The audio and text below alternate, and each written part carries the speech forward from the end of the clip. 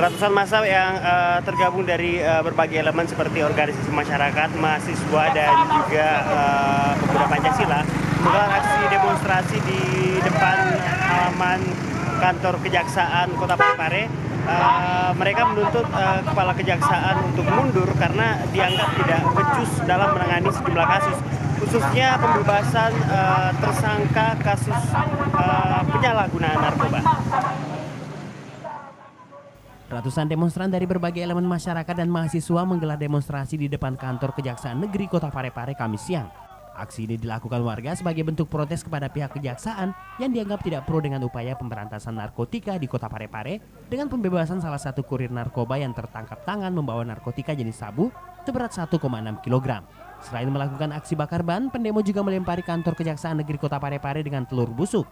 Tidak hanya itu, pendemo juga menyegel dan menduduki kantor kejaksaan selama kurang lebih tiga jam karena kepala kejaksaan tidak menemui pendemo. Poin tuntutan kita jelas.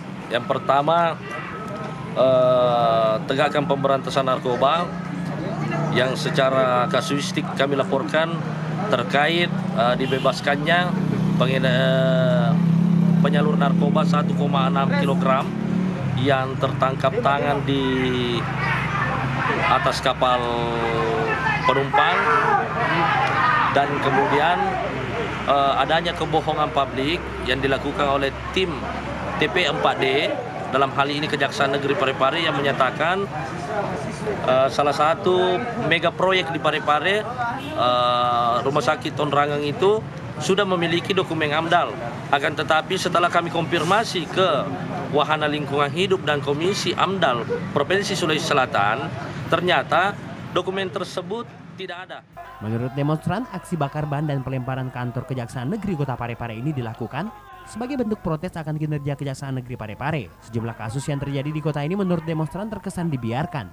Dalam orasinya, pendemo juga menuntut Kepala Kejaksaan Negeri Kota Parepare untuk mundur dari jabatannya.